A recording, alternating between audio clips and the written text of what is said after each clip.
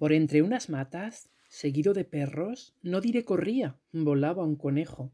De su madriguera salió un compañero y le dijo Tente, amigo, ¿qué es esto?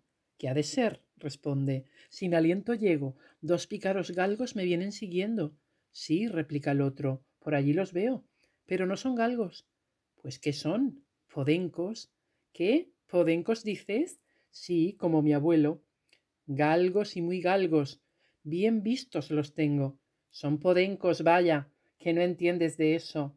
Son galgos, te digo. Digo que podencos. En esta disputa, llegando los perros, pillan descuidados a mis dos conejos. Los que por cuestiones de poco momento dejan lo que importa, llévense este ejemplo.